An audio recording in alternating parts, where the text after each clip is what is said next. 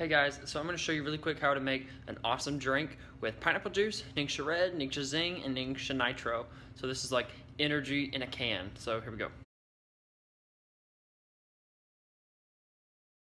Okay, so the first thing I'm going to do is take a either a glass or stainless steel um, canister or drinking can, whatever you use. I use a Yeti. And then I'm going to pour in, and shout out to Melissa Pepping for the idea of adding pineapple juice. That's awesome and then I kind of modified it a little. So I'm gonna dump a whole can of Zyng in here. And sometimes I have to drink a little off the top because I ran out of room, but that's okay. Okay, now I got that.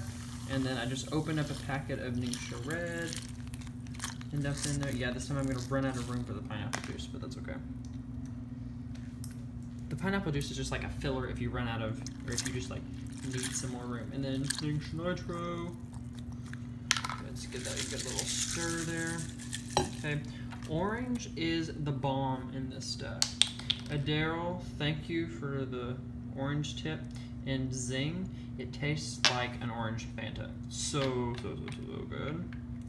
And then even a little grapefruit if you want. I like grapefruit. Just gonna do a drop or two of that. Okay.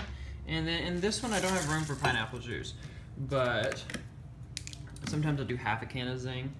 And if that's the case, then, then I do. But just top it off all the way to the top. You want as much as you can get in there. And there you go. You have energy in a can.